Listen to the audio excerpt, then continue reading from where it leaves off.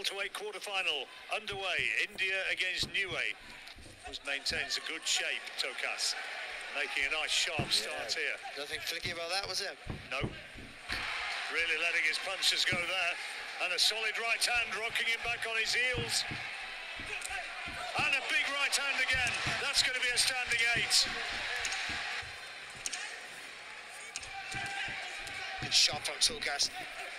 Yeah, he's going about his work in a sort of a gleeful manner. Sneaky that was. Yeah, he's very tricky, Tokas, isn't he? Really is.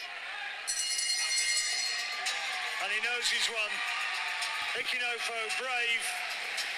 But Rohit Tokas, 29-year-old Indian, is into the last four. That, I believe, is absolutely certain.